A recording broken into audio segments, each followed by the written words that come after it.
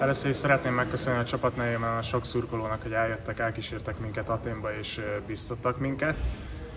A Paksányi nagyon kemény mérkőzésre számítak, ugye most cseréltek edzőt, ezért nem tudunk abból kiindulni, ahogy eddig teljesítettek. Maximálisan fel fogunk belőlük készülni, és maximumot fogunk nyújtani a pályán.